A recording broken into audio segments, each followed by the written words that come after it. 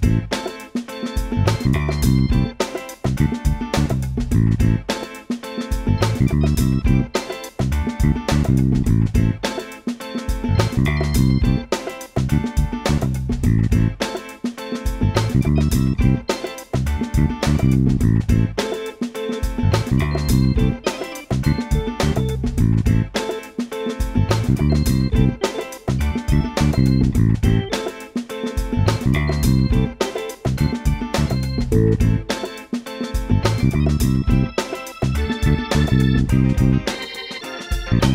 Ahoy hoy everybody and welcome to part 2 of my video blog from London Film and Comic Con.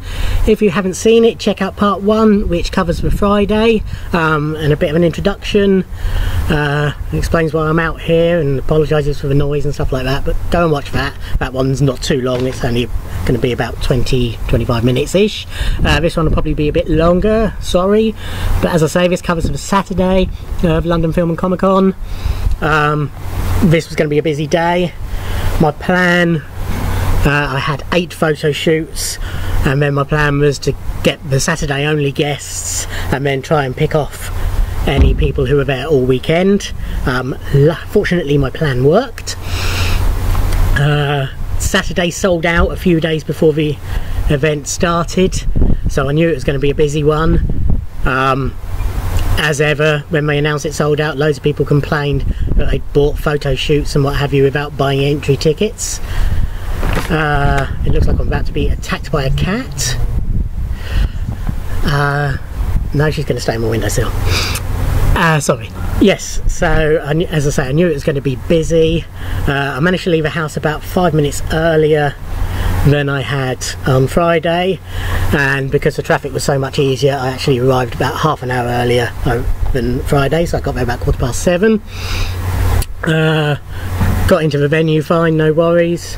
What I forgot to say on yesterday's video was um, after I left and had Pamela's photo shoot I picked up all my diamond passes. Um, I had five booked uh, which are oh, sorry I'm being distracted by a cat uh, diamond passes are special passes you can buy for certain guests um, which are sort of a bundle um, and it means you get your photo shoot you're guaranteed an autograph um, and then they usually have a talk attached. Some of them didn't um, which otherwise you'd have to pay for and you normally get a gift of some sort either a print or a mug or something like that or mine came with prints.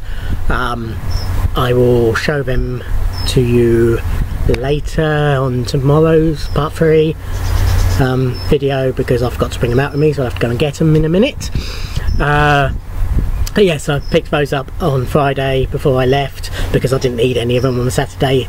Um, so it meant I didn't have to panic about queuing for them and then queuing to get in anyway back to Saturday morning.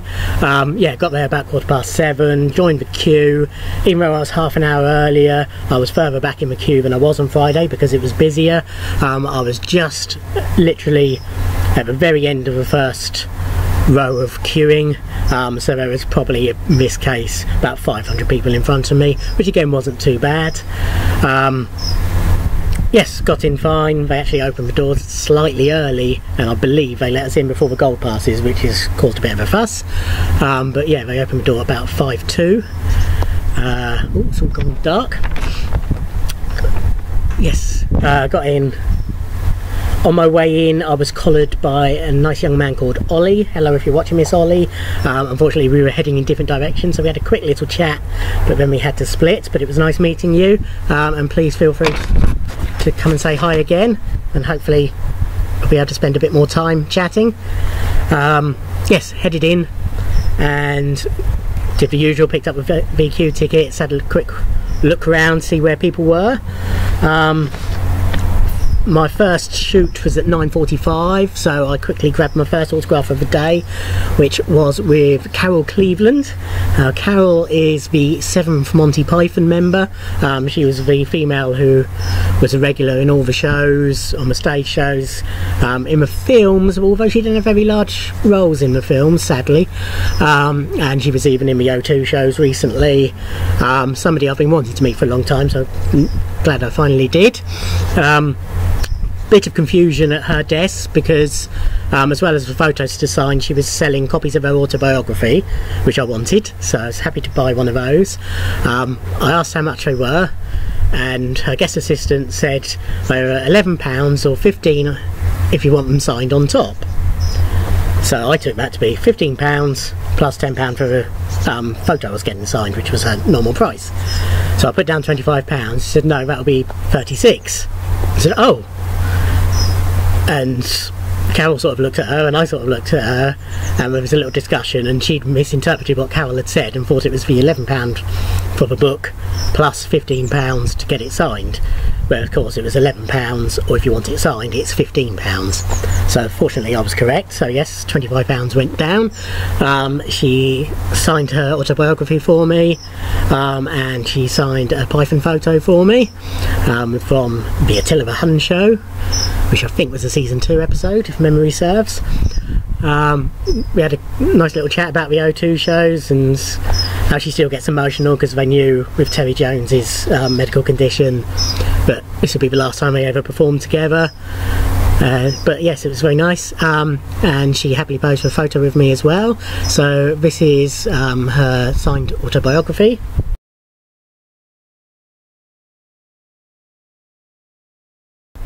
Or at least the inside of it. This is the photo she signed.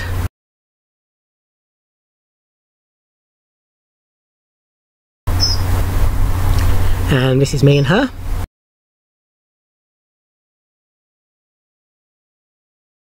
Then it was a head round to first photo shoot of the day, which was one of my Diamond Pass ones and one of the biggies, and that was with Benedict Cumberbatch. Um, I'm sure you all know who Benedict is. Um, he's Sherlock in Sherlock, he's Doctor Strange in Doctor Strange, um, he's Khan in Star Trek, he's the dragon thing in Lord of the Rings, which I don't watch. I think, I think it was Lord of the Rings and not Hobbit. If it was a Hobbit, it was the Hobbit, I think, wasn't it? That silly stuff that I don't like. Um, he was in that. Um, so many other things. Um, Stephen Hawking in a thing years ago. Um, he's in the imitation game. It's Benedict Cumberbatch. You know who he is. Um, very busy.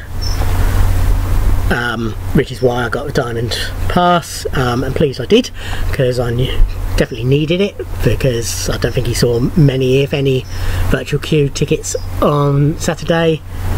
Um, plus it also meant I got into a photo shoot straight away. So yes went and did that. Um, very nice. Uh, we had you know was, wasn't a production line. You had time for a quick hello and thank you and yes this is my photo shoot with him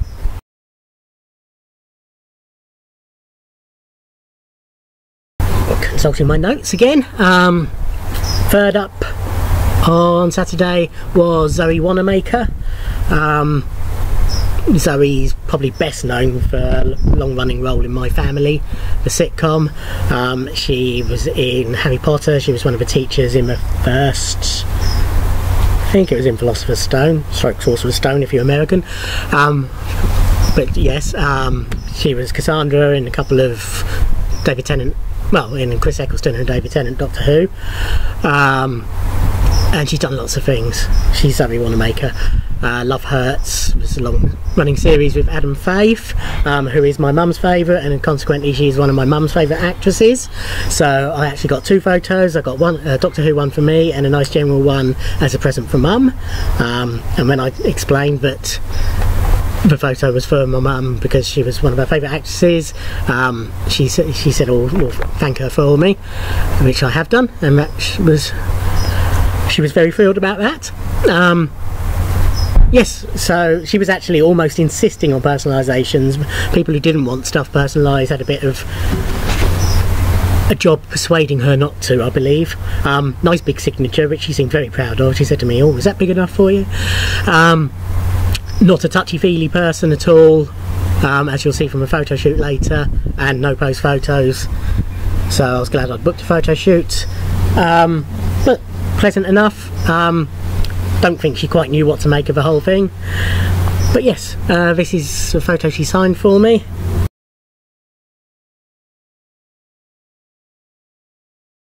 Next up uh, was one of my heroes. It was a photo shoot, uh, again a diamond pass that I snapped up as soon as it was announced, which was actually on my birthday this year. Um, it was John Cleese. Now, obviously, having already spoken about Carol, I'm a huge Python fan. Um, they are, to me, the best comedy thing ever.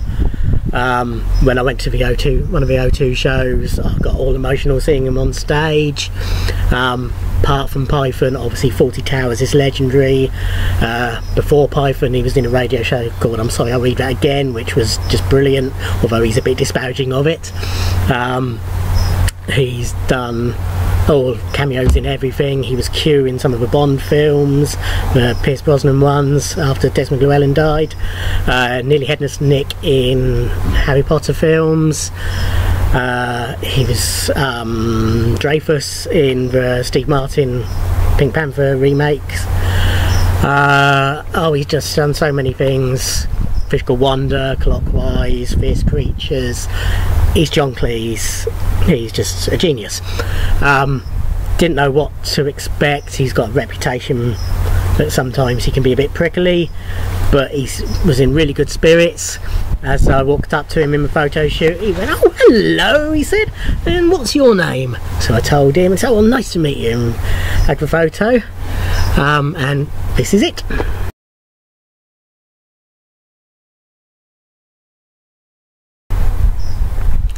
So yes, thrilled to get that. Um, and in a minute I'll tell you about when I met him, and that's a story and a half. Uh, but then next I headed round to um, Conleth Hill. Uh, Conleth's best known for playing Varys in Game of Thrones. Um, he's done a few other things.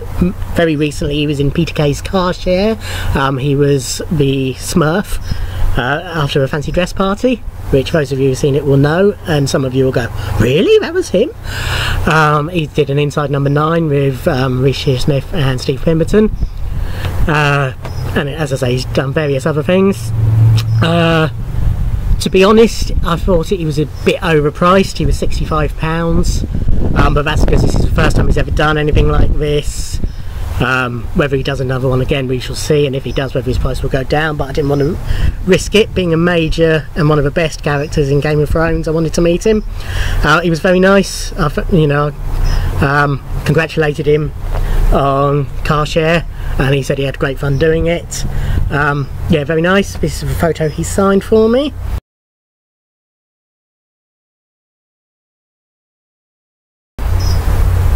He was also a diamond guest, although I didn't get a diamond pass, and it turns out it wasn't necessary. He was whizzing through the autographs, but not in a making you feel rushed way. I think where he's his main fan base is Game of Thrones. He's not really in anything cult outside of that.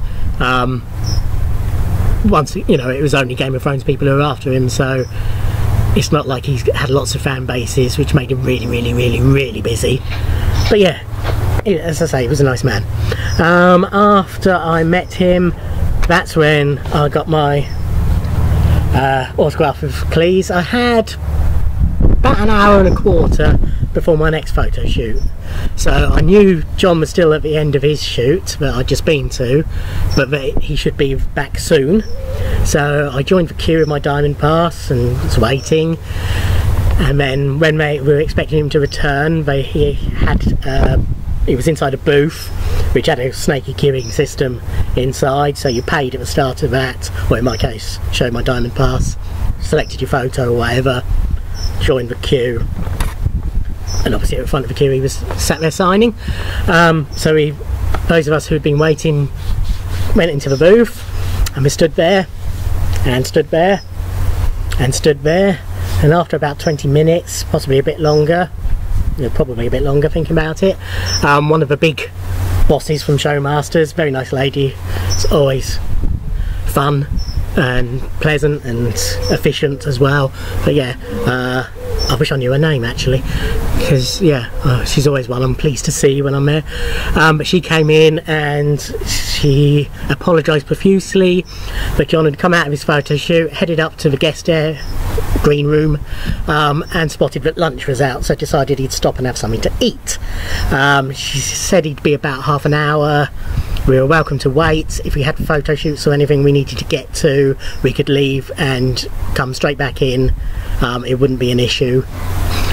Decided to wait it out. Still had oh, good best part of three quarters of an hour before the shoot, so I wasn't overly concerned. Probably a bit longer than that I had left. Um, so we stood there waiting, waiting, waiting, and eventually John turned up, uh, all smiles and waved to us all, and autographing started. Uh, the first lady in the queue, or might be the second person, she might be the second person, but she had a couple of books to sign, um, and on both of them he actually checked the credits. So he obviously didn't recognise the books, and he actually checked that they were legitimate and looked when they were printed and what have you before he signed them, just in case that he was signing something unofficial, if you like. I think they were both Fawlty Towers books, um, which made me laugh. Um, but when I got up to him, he looked up at me and said, "Oh, hello again." So he'd remembered me from a shoot, which was now a good couple of hours previous. Um, uh, he um, congratulated me on my choice of photos. He said he liked it. Um, it was about the only solo Python, in fact I think it was the only solo Python shot that wasn't from a Ministry of Silly Walks sketch, um, which he's well known for not being overly keen on, um, mainly because it's buggered up his hips over the years. But yes, he, he, he, said he liked that photo. Uh, had, uh, I thanked him for all the joy he'd brought me over the years, and he asked me what my favourite was. So I said, you know, obviously Python, but it's all great, you know, obviously Fawlty Towers and Fish Called Wanda and everything. He said, some people give me the strangest answer to that question. He said, some people tell me it's Bond. I said, well, yeah, you were great in that too. He said, yes, but it was four days' work. I mean, I was only in it for a blink and a miss. And we had a laugh and yeah, I was really pleased to have met him. You know, he, he, treated me like a long lost friend almost, and we had, you know, say, we had a nice little chat, and shook hands, and he thanked me for coming to see him. And again, you know, it was just a joy to meet one of my heroes. Um, that alone would have made the weekend without all the other brilliant people I've met. But yes, John Cleese, what can I say? Um, this is photo he signed for me.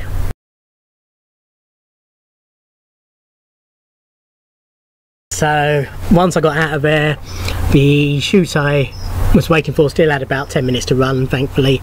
So I didn't have to panic but I headed straight over which took a couple well, minute tops um, and managed to get straight in the queue and it was Terence Stamp um, British actor of some esteem been big since the 60s um, probably best known probably wrongly, um, as Zod in Superman and Superman 2. So he was the, the, the second part of the, the, villainous trio who were meant to be reuniting but sadly wasn't to be. Um, see Friday's video if you don't know what I'm talking about. Uh, he's in the Star Wars prequels um, as Senator. Can't remember his character name.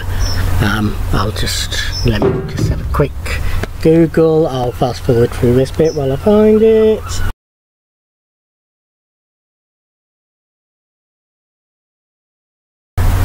Chancellor Valorum um, in Phantom Menace. I think he might have been in the other, one of at least one of the other twos, but I might be wrong there. Can't remember. Tend to ignore the prequels. Uh, he's done lots of other stuff. He's Terence Stamp. Um, the song Waterloo Sunset is the line Terry and Julie sat on uh, whatever it is Waterloo. Uh, yeah, it, line about Terry and Julie in Waterloo Sunset. Um, he is Terry. Julie is Julie Christie. Um, he was very quiet, um, but everybody came up, he shook their hands. Um, depending on, ha on how you greeted him, was depending on how sort of close he came into you um, the actual shot. But I gave him a nice big smile and said hello, and as you can see, he he leant right into me for the shoot. Um, but yes, it's me and Terence Stamp.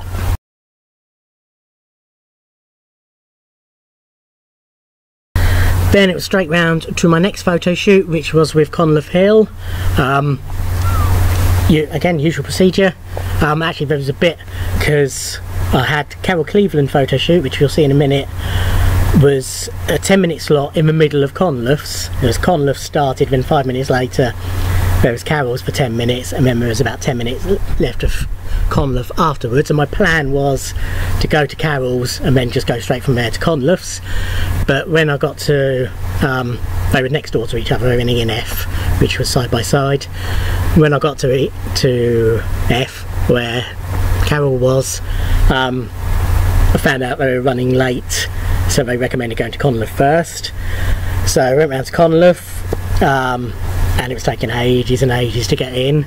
Eventually I got in, fine, very nice shoot. Uh, as you can see, he was posed a big smile and pointing, he was doing that with everyone. Strange seeing him with hair, I know. Um, when I was showing Mum and Dave the pictures last night, it was literally two pictures after they'd seen his autograph, or three pictures. Um, and they still didn't recognise him because he had the hair on. Hair on? Because he had hair. He only shaves for Game of Thrones. Um, but yes, very nice photo. This is it.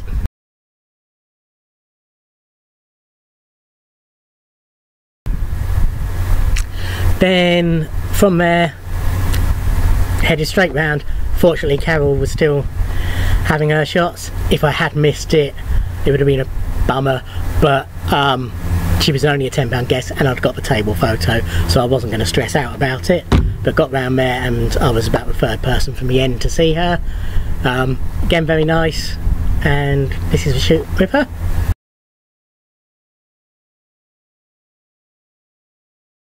And then it was straight onto another photo shoot, which was with Zoe Wanamaker. Um, as I said earlier, she was not a touchy-feely person, and when we got in, I could see that she was just sort of leaning back a little bit, almost resting on the backdrop, but I don't think she could have without falling over, but just sort of leaning back, you'll see in the shot, and wasn't shaking hands with anyone, and, you know, sort of no physical contact, but again, thanked us for coming and gave us a big smile. Um, so this is my shot with Zoe.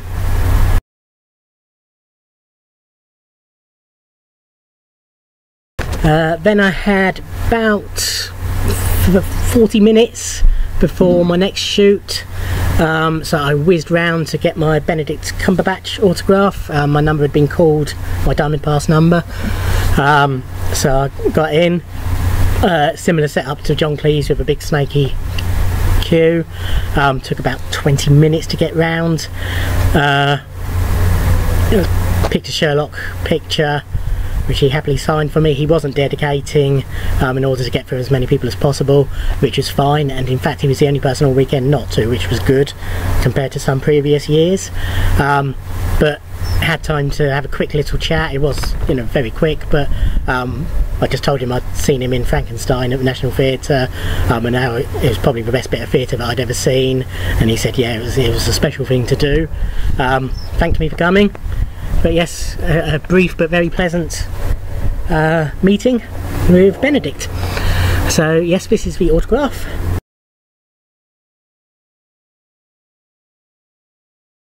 So then I headed back to a photo shoot area where I had my photo with Emily Kinney, um, who I'd met the previous day. Uh, Beth in Walking Dead, main reason.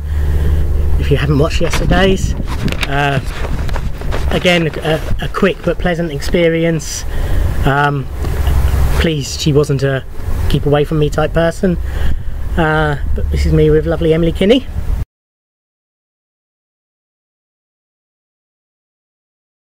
From there it was um, back to the autograph area for Mark Strickson, who played Turlough in Peter Davison era Doctor Who. Um, he's one of these people, if you've seen my videos from previous years, who I met way back at my very first con, Collectormania 7, when we had a big Doctor Who reunion, but I wasn't getting photos with people at that event, so I've slowly been mopping them up and meeting them again to get photos with. Um, he lives in New Zealand, so he's not over here very often, so at last I've managed to get him. Um, we had a nice little chat about his travels. Um, he signed a picture for me.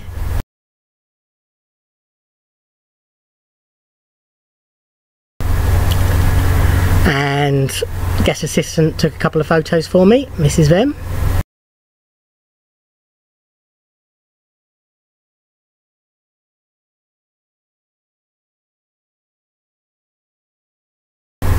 His guest assistant was actually the girl who, if you remember from last year, if you've seen last year's videos, um, is a fellow Molotov Jukebox, Natalie, Natalia Tena's band fan, and actually flashed at me uh, in one of the photo cues because we were wearing the same t-shirt. She's a crew member.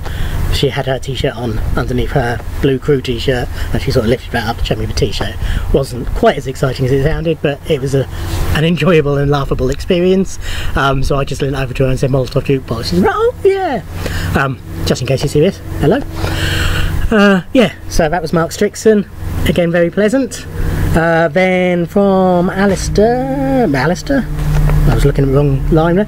Um, then from Mark, it was uh, I had one more Saturday only guest to sort of pick off. I had to get Tevin Stamp's autograph, but um, he was a slow signer, so I was still waiting for him to get to my number. So I started picking off a couple of Sunday guests or, or weekend guests. Um, and first up, I decided to get um, another of the Diamond Pass guests, um, Natalie Dormer. Uh, I'm a huge fan of Natalie's ever since I first saw the Tudors where she played Anne Boleyn. Um, then she was in the Fades, which again, if you've seen a couple of my previous videos, you've seen me raving about as one of the best sci-fi TV series ever. Um, and was sadly lost on BBC Three, so not many people saw it, so it didn't get a second series, which was a real bummer because it was magnificent. Um, so yeah, she was in that. She's best known now um, as Marjorie Tyrrell, or Tyrell, however you meant to say it, in Game of Thrones. Um, she's done lots of other stuff as well, both on telly and on film. She's in Elementary, which is one of the few things I haven't actually seen her in. Um, she was in the first um, Captain America film briefly. She's in Rush. Uh, was the lead in a film called The Forest, a horror film. Um, yeah, she's done lots of other stuff as well. The Scandalous Lady W um, was a one-off. She was on. She was the lead in on BBC Two last year. And yes, as I say, she's one of my favourite actresses. Um, she was initially announced that uh, I think it was the last Earl's Court London Comic Con, um, and had to cancel last minute because she had to go and shoot Thrones. Um, back then she was I think she was going to be 25 pounds um, and my intention I was I think I was going to get four or five from her from various roles. I was going to get a Tudors pick a Thrones pick a Fades pick and then I think a general one.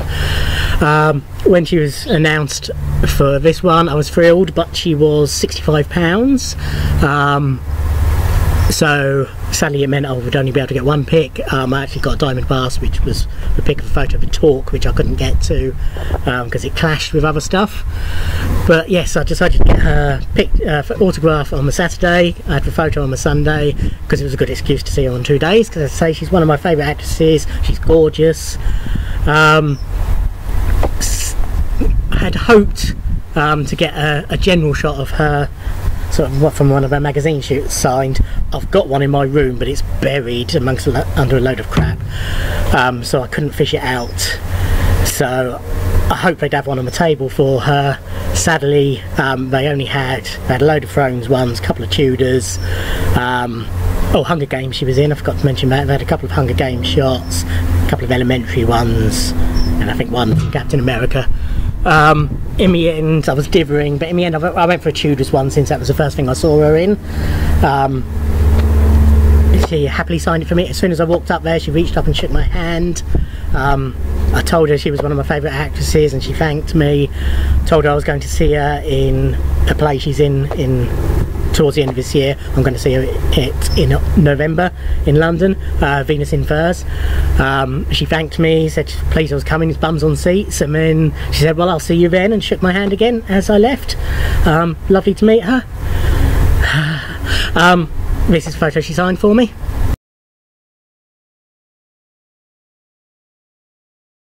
Uh, then I had a little wander around and then decided to pick off another all weekend guest which is Alistair Petrie. Um, main reason I wanted to meet him is he was in Sherlock.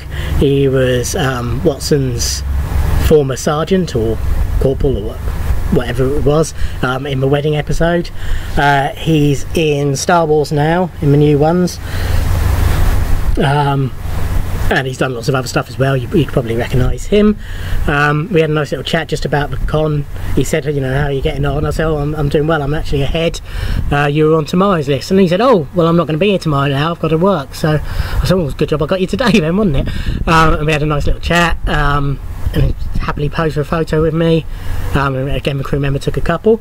Um, so this is a photo he signed from Sherlock.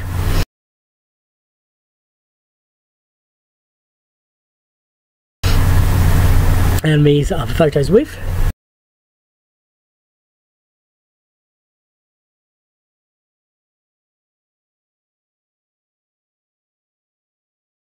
And then again I picked off another one for all weekend um, which was Pilou Asbæk I might be pronouncing that all wrong. He is a Danish name. Um, he is currently best known uh, for playing Euron Greyjoy in Game of Thrones, who's sort of a new, horrible, nasty, mean character that we all love to hate. Um, if you don't watch the series, you'll know who he is. Uh, he was also in Borgen. He co-presented the Eurovision Song Contest a few years back, and he's done lots of other stuff as well.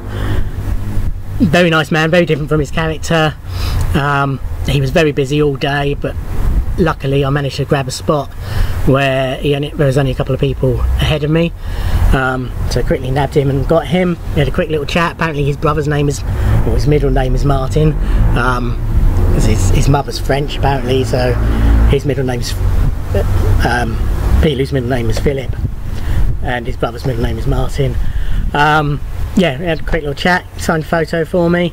Sadly, he was no pose photos, and I hadn't booked a shoot with him, which was, I'm a bit gutted about because it would have been nice um, to have a photo with him because it looks like he's turning out to be a pretty major character in Thrones. But yes, this is a photo he signed.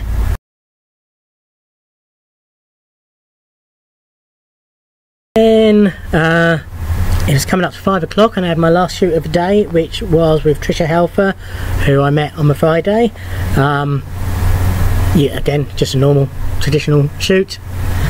In, smile, grin. She thanked again. She thanked me for coming. Um, very tall, but very pretty. Um, this is the shoot.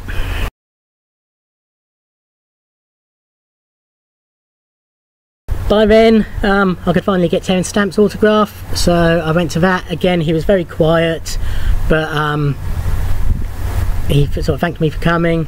Um, and again quite a limited choice of photos. I quite like just a general shot of him but in the end went for a General Zod one from Superman um, and this is it.